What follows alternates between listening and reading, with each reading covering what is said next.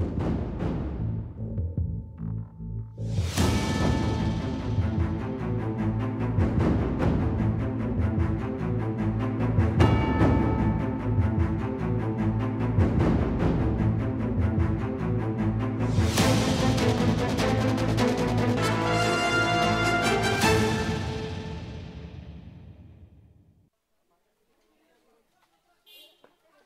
Senin siang, penyidik Polres Metro Jakarta Selatan mendatangi rumah pasangan selebritas Lesti Kejora dan Rizky Bilar di kawasan Cilandak, Jakarta Selatan.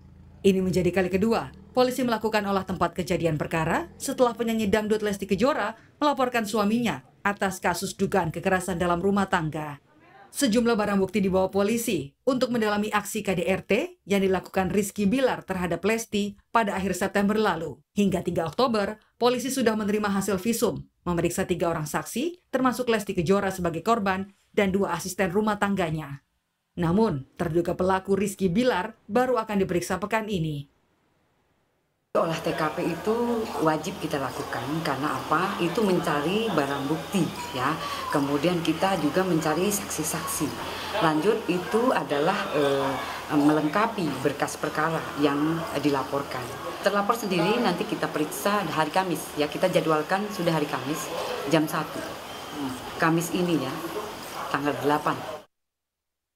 Diwakili kuasa hukum, pedangdut Lesti Kejora melaporkan suaminya, Rizky Bilar, ke Polres Metro Jakarta Selatan atas dugaan KDRT pada 28 September lalu. Dalam laporan polisi, Lesti mengaku dianiaya Bilar hingga sempat dirawat di rumah sakit. Buntut perkara ini, Komisi Penyiaran Indonesia KPI Pusat meminta semua lembaga penyiaran untuk tidak menjadikan pelaku KDRT sebagai pengisi acara di semua program siaran, baik televisi maupun radio tidak memberikan ruang kepada pelaku KDRT. Siapa pun itu, kemudian pelaku KDRT hadir di layar kaca, diberikan ruang menjadi pembawa program, pengisi program, dan di dalamnya kemudian ada muatan-muatan glorifikasi terhadap uh, perilaku kekerasan dalam rumah tangga, uh, dielu-elukan layaknya kekerasan dalam rumah tangga itu bukan kejahatan yang tidak bisa dimaafkan atau yang biasa-biasa saja begitu kan ini menjadi akan menimbulkan perspektif di publik bahwa uh, ya KDRT adalah hal yang biasa Komnas Perempuan juga mendukung langkah Lesti dan setiap perempuan lainnya yang berani melaporkan dugaan kekerasan dalam rumah tangga. Kekerasan dalam rumah tangga dalam bentuk apa pun itu tidak diperbolehkan. Undang-Undang PKDRT telah melarang bentuk kekerasan fisik, psikis, seksual, dan penelantaran dilakukan dalam relasi perkawinan atau juga relasi rumah tangga.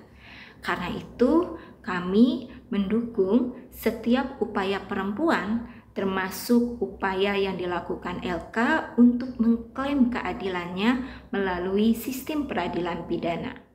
Menurut pasal 44 Undang-Undang Nomor 23 Tahun 2004 tentang penghapusan KDRT, jika terbukti bersalah, suami Lesti, Rizky Bilar, bisa terancam hukuman 5 tahun penjara. Sejak dilaporkan sang istri ke polisi atas dugaan KDRT, Rizky Bilar belum mengeluarkan pernyataan apa pun. Kamis mendatang, polisi akan memeriksa Rizky Bilar sebagai terlapor. Tim Liputan, Kompas TV.